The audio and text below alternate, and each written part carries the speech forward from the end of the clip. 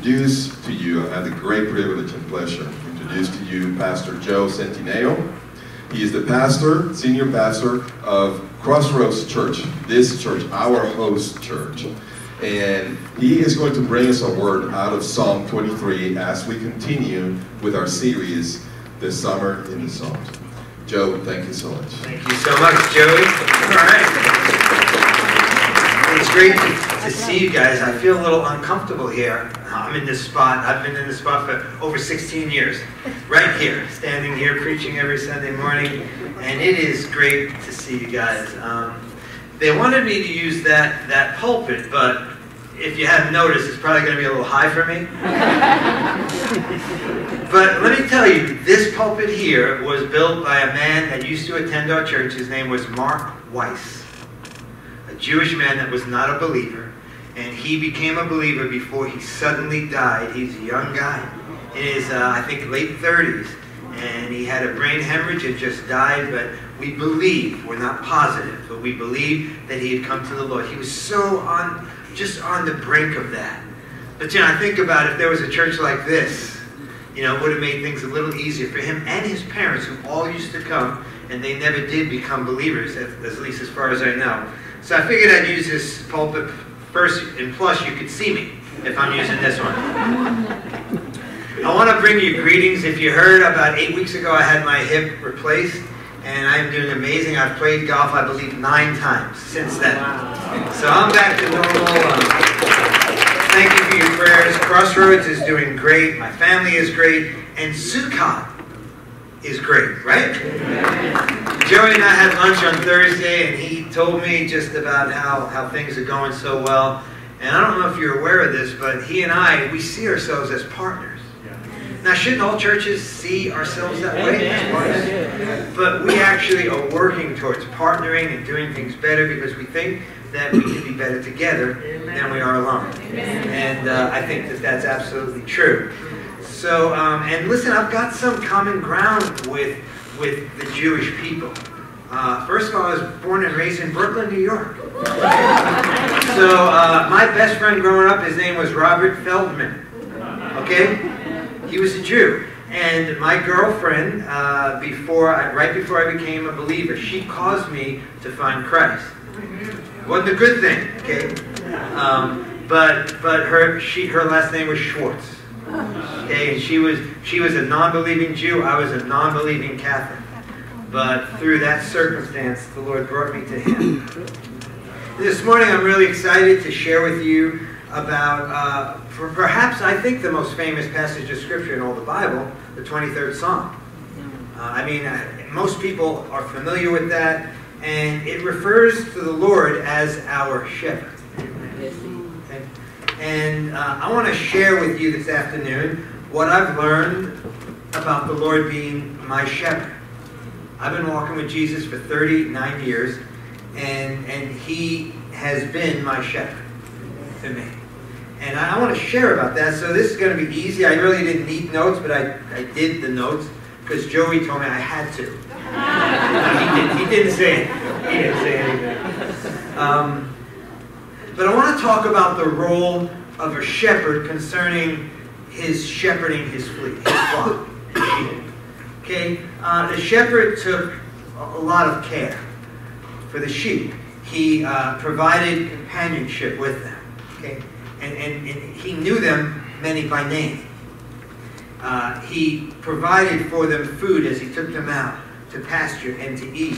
He, he gave them exercise, he gave them rest, and he gave them protection.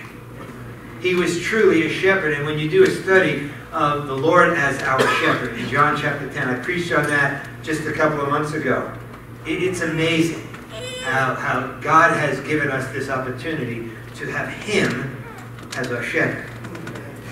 Um, so let's dive into this amazing psalm and glean all we can considering the Lord as our shepherd. Now, um, I'm going to point out some things that are somewhat obvious, but maybe we forget them. So it starts out, the Lord is my shepherd. But we got to stop. Are you kidding me? Are you kidding me that we drew the straw of all the shepherds, right? That we got the Lord to be our shepherd. He's the one, now listen, because you can forget this. We know it, you know, in fact, I stopped memorizing scripture a long time ago. You know why? When I memorize scripture, it goes into my rote memory. This is how my peculiar brain works. It goes into my rote memory and it no longer means anything to me. Because I just auto, so I had to stop memorizing. So I decided I'm going to become so familiar with the scriptures, I won't memorize them. I'll know them so well that it won't go into the rote memory, and I'll be able to embrace it. So listen to this: the Lord is our shepherd. Yes. Are you kidding me? Wow, what a shepherd! It's amazing. Guess who just hit the lottery? We did. And he says, the Lord, David says, the Lord is my shepherd, I shall not want. Of course you're not going to want. How could you want when the Lord is your shepherd? But that doesn't always play out that way now, does it? because we forget. How could we want if the Lord is our shepherd? The Lord as our shepherd. When we remember He's our shepherd, He's able to provide all that we need so we do not lack anything. Because we realize that we have all we need. Now listen, it's not that he ever doesn't, you know, well, I don't realize that. I don't have all I need. No, you don't realize that in him you have all you need. So you think you have lack. And your lack, your thinking you have lack causes you to not even appreciate the very things that he's providing for you. See, none of this is in my notes, Joe. I didn't really need the notes because, you know why? Because for 39 years, I have experienced what it's like to be one of his sheep. Even though oftentimes I wander and I forget the fact that I have the greatest shepherd in the world. But he's still there for me. Now, let me tell you something I learned. See, because I was in a relationship with, with a girl. I was 22 years old, and we were planning to get married. We were together two years. And I met her, and the night I met her, I guess I can say this. Uh, I didn't know the Lord. She didn't. And we had relations with each other together as if we were married, only we weren't. Okay? Okay, you get the feeling? And we lived together for two years, and we were planning to get married. And after two years, I find out that this woman was cheating on me from the day that we met. And I remember when we got together that night, we met at, I'm sorry to admit this, I'll give away my age, we met at a disco. Look, if you were alive back then, you were, it was cool. I'm sorry, I, I know, there's no defensive disco. I met her in a disco, and she told me that night, uh, she said, wow, I've never, I never do this. I've never done this with someone the day that I meet them, and I knew that wasn't true. Yeah. But I wanted to believe it. And um, when I found out that she had been cheating on me with multiple guys the entire time I knew her. Now listen, I was no moral person, but I never once cheated on her. I was never unfaithful. Okay? So those were my warped kind of morals. Okay? I didn't know the Lord though. And um, when I found that out, I remember I went back to my apartment in New York and I had decided I'm going to end my life. And then I had another thought. I'm going to kill her. and that was the crossroad in my life.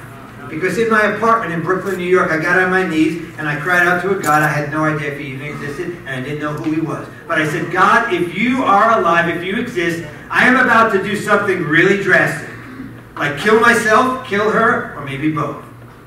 And I said, God, if you are real, I need you. Please show yourself to me. And he reached down from heaven into this seven story house that I lived in and reached all the way down to my apartment and touched my heart. Amen. And I remember I was like, oh my gosh, you're real. But I had no idea who he was. I didn't know it was Jesus.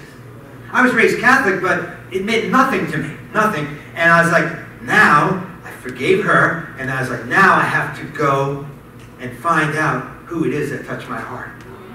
And within a week, I was invited to an evangelical church, okay? So for the Catholic, the evangelical church is the church that believes the Bible. They, the Protestant Reformation really was about evangelicals, the formation of evangelicals. But we just don't remind Catholics of that. There's so many Catholics in our church, and it's like, hey man, we're Catholics, part of the universal body of Christ. But I went to a church and I never experienced anything like it. But I didn't listen to the pastor. I just looked at the people. And as I was in this large church in Staten Island, New York, I had to drive over the bridge, pay a $7 toll just to get to church. Little did I know I would be going to that church five times a week. I didn't even listen to the pastor. I just looked at the people. I was like, oh my gosh, they have something that I don't have. And the fourth week, I listened. And I gave my heart to Jesus.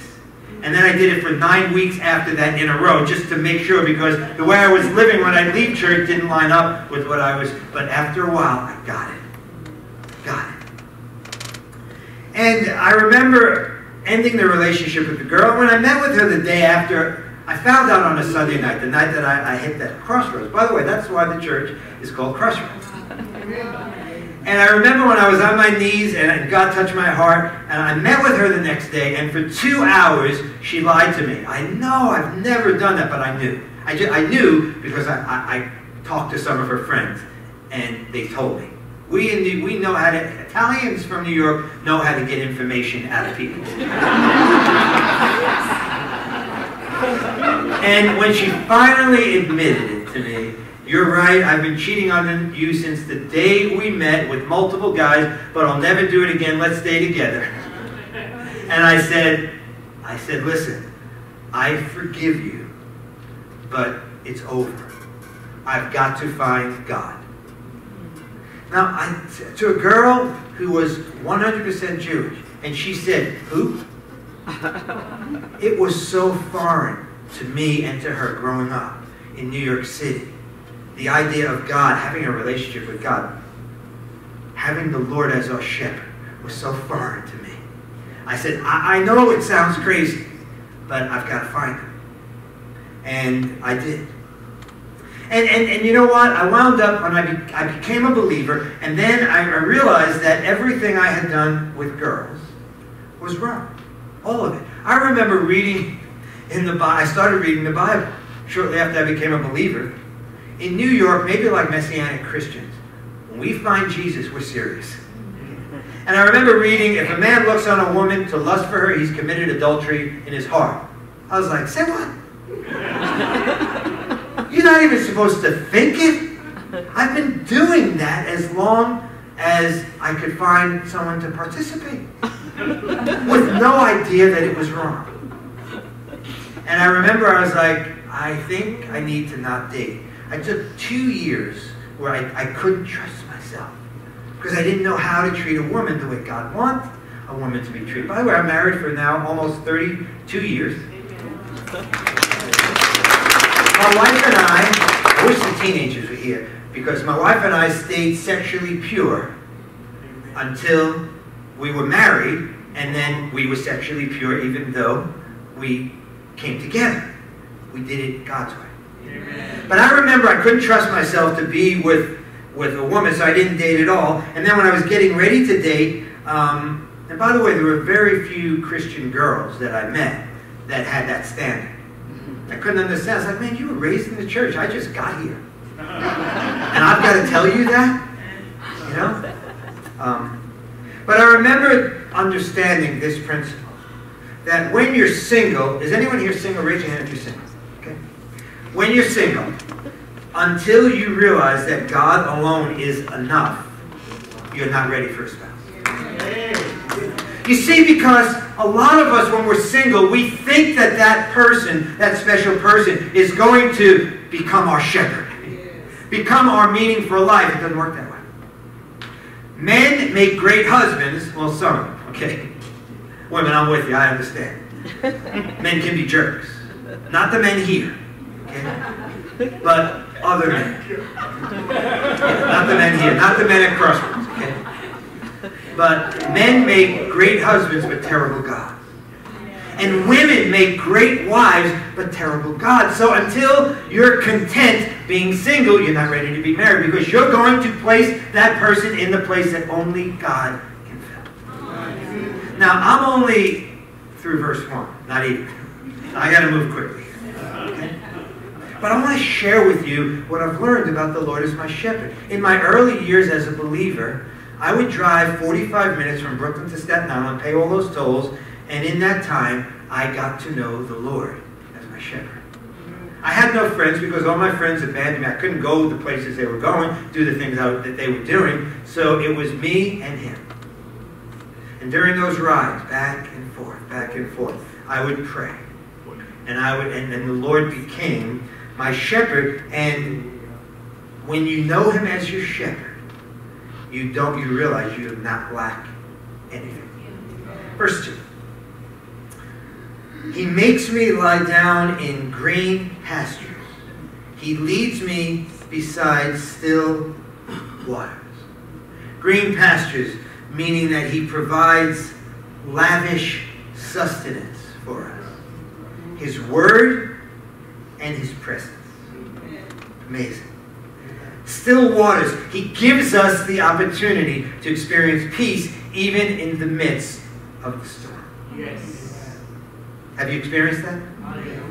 You know, we were talking about cracks in the song, and I had this thought uh, about the cracks.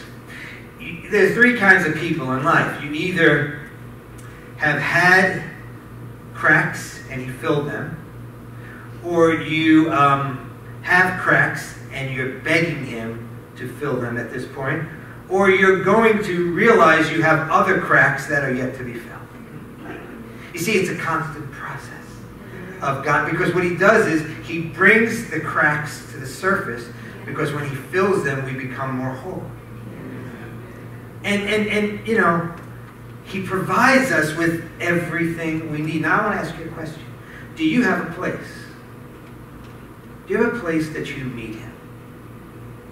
See, for me, it's my hot tub. If I look a little shriveled, because between last night, an hour, last night, 45 minutes this morning, my hot tub is one of the places, it's the main place where I pray. You say, Joe, why a hot tub? Because if I pray anywhere else and close my eyes, I fall asleep. and I got really tired of feeling guilty about, as a pastor, falling asleep when I pray. I had the worst devotional life of anyone in the world because I kept falling asleep. So, you know what I did? I started to prayer walk. And then my hip got bad, and then I was like, okay, we can't keep. Well, I would walk for my. I would walk in the middle of the night. I would finish a sermon when I was a youth pastor, and I'd go out walking and just walk because I didn't fall asleep when I was walking. That's probably a good idea, right? and then I, I found the hot tub to be a place. It's my place. Like you have, a, we have prayer closets. Mine has water in it. Okay. Do you have a place? See, find the place. Create a place. You know what I did in my backyard? Okay, Joey, you got to come to my house sometime. You, the wife too. And the first thing I'm going to do, I'm going to say, hey, here's my wife. Say hello, but come on. I want to bring you to my backyard because I have created an amazing garden. I used to be a landscaper. And I have flowers, every kind of flower you can imagine. And I will go back there, sit in the hot tub and stare at the flowers. Or, or sit in my chair and just spend time with God. That's my place. Now you say, Joe, I look at flowers and, you know, I, I don't get it. Great. Find your place. Maybe it's biking. Maybe it's, it's walking. Maybe, I don't really care. But my question to you is, do you have a place that he stills the waters? See, I, I go in that hot tub at night. And there are times that I am, you know, being a pastor is not the easiest thing. And he stills my heart. If the storms don't go away, but the peace comes in the midst. He says, John, to put you right in the eye of this storm. And you're going to experience peace beyond all understanding. Verse 3 He restores my soul. He leads me in paths of righteousness for his name's sake. He keeps us healthy and flourishing spiritually, no matter what we face. Now, Joey, I don't have, I know you guys are big on being here all day, but I can go on all day now about the storms that God's allowed my life. And I say it, and you can laugh. I mean, laugh at everything. I laugh at myself all the time, but it's really not that funny. I, I wrote this book called Encounters with God because I did a series once, and I, I, I was talking about my experience with experiences with God, and it was a seven-week series. It turned into eight, and I remember right here in the church, and I always said I'm not going to write a book. I had worked for lots of pastors that wrote books. I was like, I don't want to write a book. I don't want to try and put God in some kind of box and, and make things cheesy. And, you know, God's a mystery. Walking with God is mysterious. But I did, I was doing this series, and people are like calling me up, Joe, it's Friday. We're going away this week to Hawaii. I wish I could cancel it. I don't want to miss this, this Sunday. I was like, what are you talking about? Well, because my, my life is a like a holy drama. Okay? I have been and, and, and, and after I finished that series, they said, people said, Joe, you got to write it down. It's, it's, it's comical. It's a holy drama. But I wrote this book. It took me two years to write it because I'm not a writer. And um, the funny thing is, 40% of the book I've titled The School of Brokenness. I had no idea when I told the Lord, yes, when he called me to ministry. Yes, I'll be a pastor. I was thinking of grandeur. I stand and speak, and people sit at my feet and listen to my words of wisdom that I glean from the Spirit. And the Lord says, Joe, I have to crack. Well, I have to show you your cracks. And then you have to experience me filling the holes, the cracks, with myself, which is perfect. That was such a great word so that I can use you. Because, Joe, I have to break you to use you. Had I known that back then, I'd have said, not for me, I'll stay in the landscaping business. I was a now, I wouldn't trade it for anything in the world, but back then he knew I couldn't handle what was coming. So he just called me. And I said, yes. And, and these books are in the back. You probably see them. These are available. I, I would love for maybe one per family, just feel free to take them. There's no charge. We don't charge for anything. You know, we it's a pattern, okay? We don't charge for anything. Okay? Freely you receive, freely we give. So take one of these books and read it, and you will see, you'll be like, because right now maybe you look at me and say, wow, Joe, pretty cool guy, Joe, why this, that. Read this book and you'll say, he's just like me.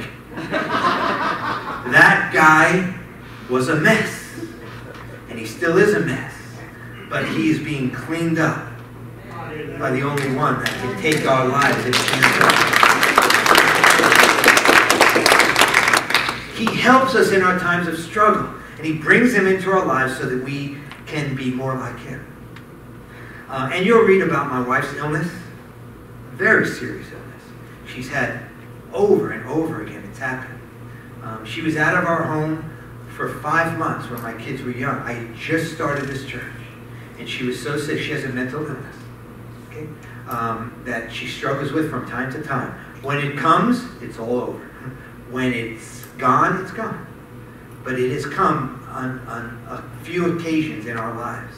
And the one time it, she was out of the house for five months, hospitalized for two months, went through shock therapy because she was catatonically depressed. She did not speak a word for two months.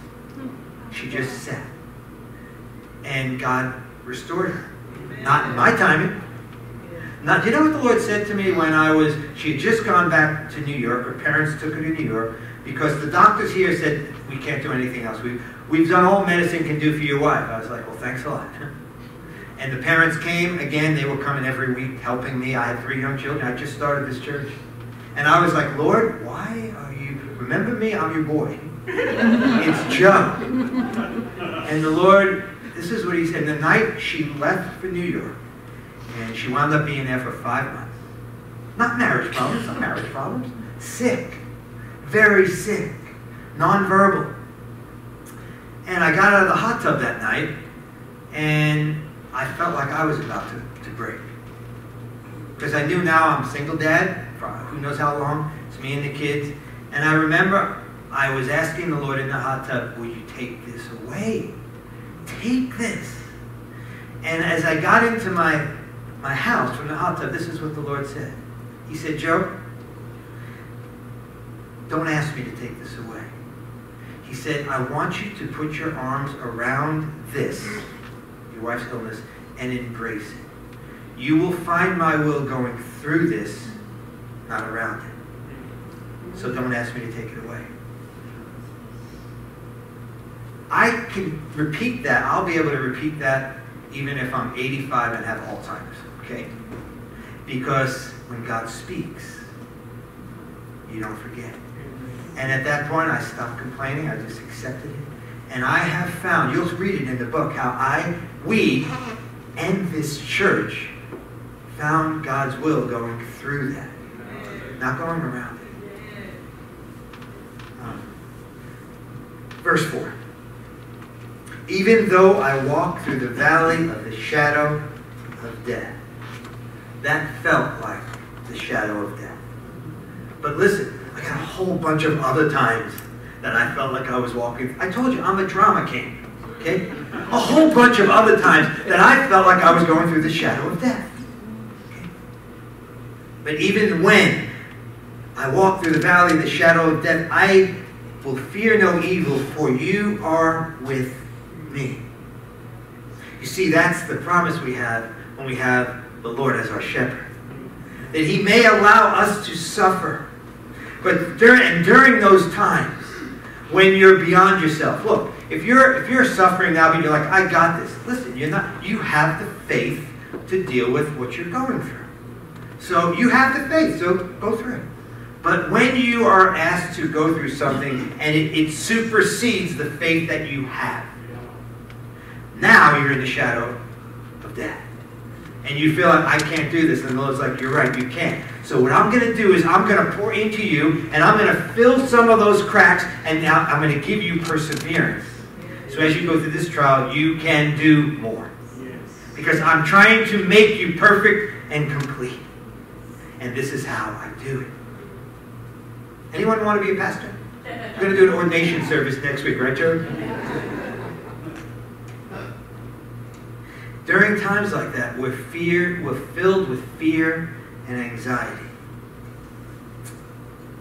He says, I will fear no evil though, for you are with me. Your rod and your staff, they comfort me. They comfort me. Your rod. The times, look, a lot of my suffering, I brought it on. So it was like, Joe, I've been work, I've been tapping you on the shoulder to deal with some things. You're not dealing with them. So now I have to step in. The crack is getting bigger, and I've got to fill it. So I'm going to bring this out to the forefront, and you're going to suffer, but I'm doing it because I love you. So hang on. It's going to get scary. Your rod. Sometimes God has to hurt us so that we no longer wander away. Do you know what the shepherd, you guys, I'm intimidated to talk about things. The old, uh, Joe, you asked me to talk on the Old Testament. Thanks a lot. Talking to a Messianic congregation about the Old Now, I've been to Israel, and I've studied the Old Testament, but it's a little intimidating, but that's okay. Bear with me. But the shepherd carried a rod, and the rod, oftentimes, the sheep that would wander, the shepherd knew that sheep was going to be devoured. So he would get that sheep that continued to wander, and he would take the sheep, and he would use the rod to break its leg.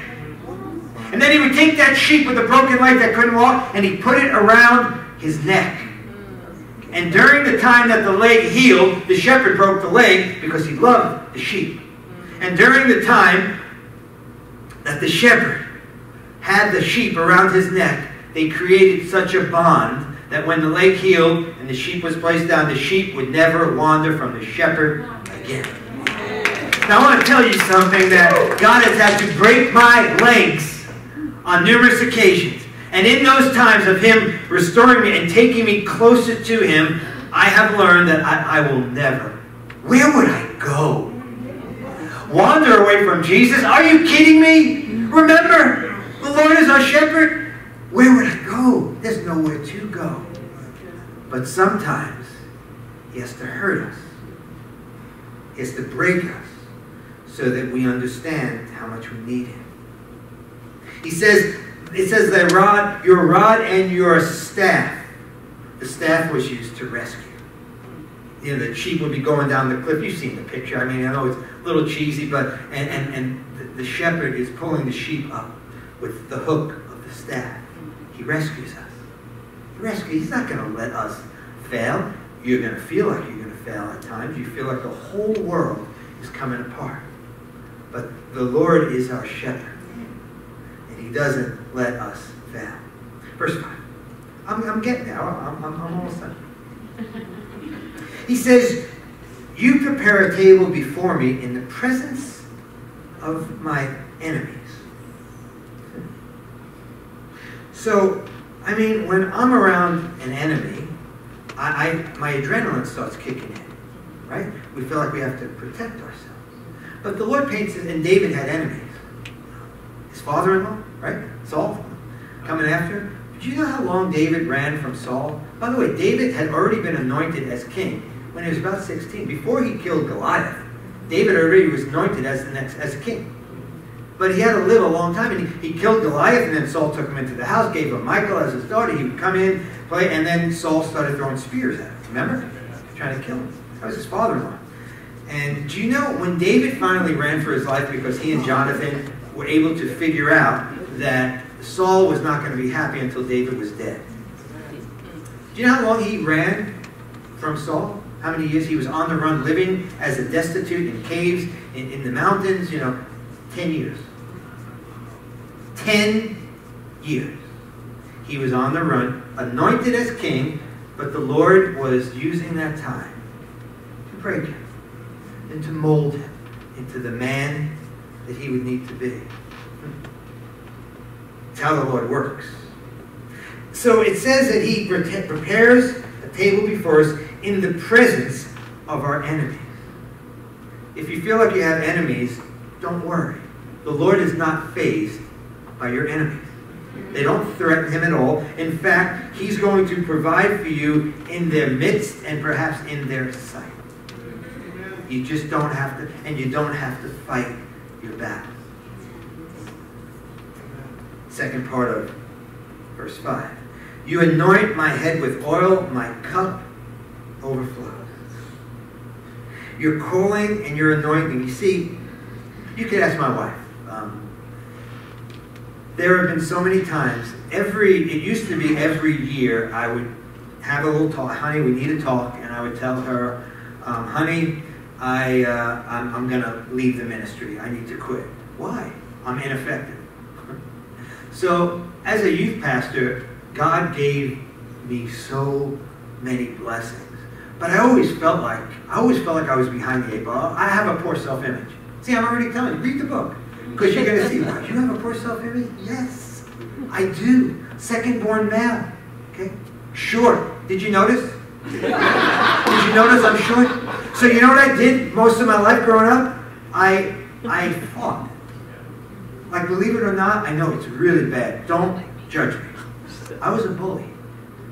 When bullying was kind of cool. It's not cool now. Don't bully. And I'm not saying it was right. But every time I walked into a room, I, I thought people would look and say, look how short that guy is, because that's how I felt about me. So I would look at them and say, what are you looking at?